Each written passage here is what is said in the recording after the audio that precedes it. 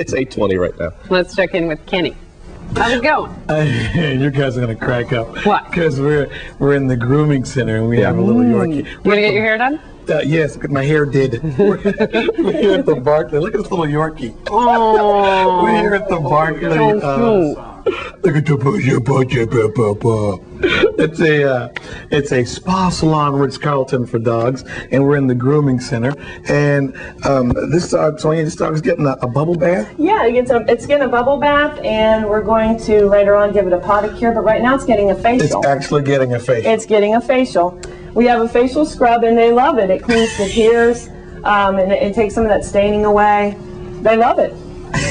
doggy facial. What are some other things that your dog can get here? Oh, we can you can get a massage. You can get a massage before you get the bath, which makes it super relaxing.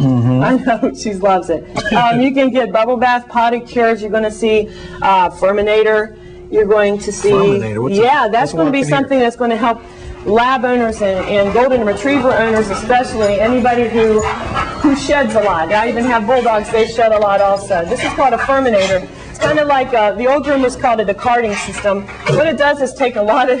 he loves to lick. Take uh, takes the hair out and, Okay. and, and helps keep you from having to vacuum every four minutes in your house. So a lot of I people love that. Yeah, I know they love that. Every time. cleaner companies might not like it, but you guys. Yeah, no, and, and the Swiffer companies too. If you have hardwood floors, And and, this is a here- potty cure. What we do potty is cure. Yeah, we don't only just um, polish the nails.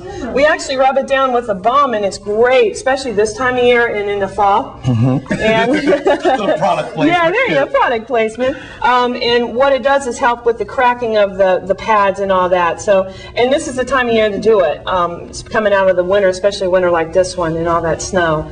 My dogs love it.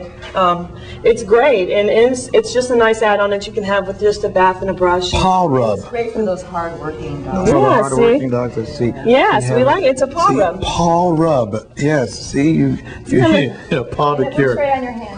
And you Yeah. know what? The dog, Stacy, it's it's nail polish for the dogs.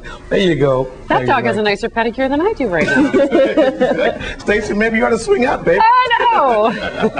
I wouldn't mind one of them little peanut butter toys. I think. Yeah, exactly. I'm bringing Don two wants a back. Kong. Yeah. Yeah, I'm bringing two back for you, Todd. All right, yeah, babe. okay. Tune in.